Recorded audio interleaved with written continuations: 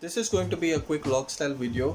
If you have the Canon G3000, 2000 or any of the ink tank printers and you suddenly see that you know one of the colors is missing or it's not working as it should sometimes you will be having all these kind of patterns on it or you have the colors all washed out you have all these kind of issues it might be because you have not used the printer for a few days. It has happened to me. Printer wasn't used much and suddenly you know i came back and it's not printing as it should.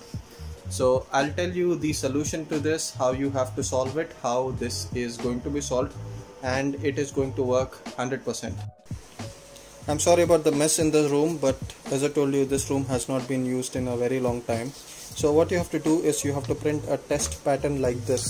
So how you do that is you have to hold the stop button for 2 to 3 seconds and the amber light will blink. As soon as the amber light blinks you have to let go of the stop button. The printer will automatically print the test pattern like this so I'm not doing it again but as you can see this is one of the test patterns that was printed before the problem was solved. So you can see black is proper the cyan is proper the magenta was the problem I was having that color was not printing and the Y that is yellow was printing properly you could have multiple colors missing or you could have some issues with between the colors that is it's not printing properly the head could be bad or anything like that. So how you do this is how you solve this is very simple. You just hold the um, the stop button continuously. Now I'm not doing it again because this process wastes a lot of ink but if you have this problem you have to do it. Hold the stop button continuously and the amber light will start blinking. Hold it till it blinks five times. So one two three four five. Total five times and then you let go the printer automatically will start its cleaning process. That cleaning process will take about uh, 10 minutes 8 to 10 minutes. You will hear the printer is doing something and it will show the busy tone. So it's it's actually doing something. And as soon as it's done once you're done you have to print the test pattern again.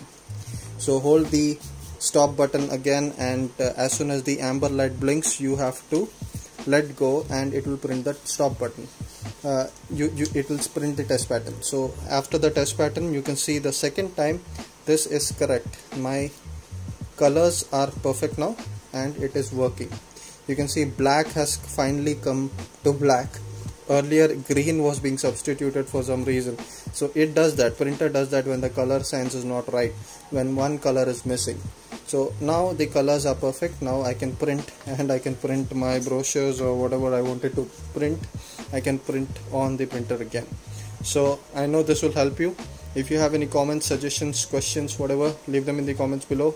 Like share subscribe. I know this has not been as clean as my usual vlogs and stuff but this was just a quick video i created to so help any person who is having this problem. I wasted entire morning trying to solve this and finally it is solved. So i'm sure it will help you if you have any comments suggestions questions whatever you know what to do. This has been jace for TopEvt i'll see you in the next video